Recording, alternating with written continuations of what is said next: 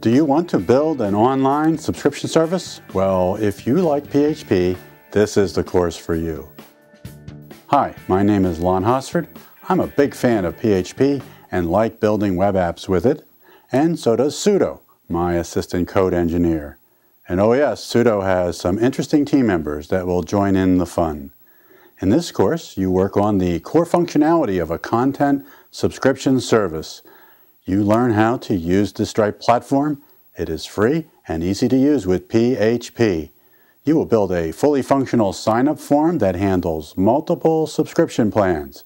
With it, you are able to register free plan subscribers and track them using Stripe. And chargeable plans that Stripe will handle the recurring payments automatically for you. To authorize payments, you will integrate the very convenient Stripe checkout form that works across all devices. I designed this course for web developers who want to work with these technologies. All you need is some light to regular exposure and you are good to go. I have dug into many software technologies during my career. I seriously enjoy helping you learn to use them, and I love to share how to apply what you learn as a hands-on developer and a team leader from working on projects for great clients.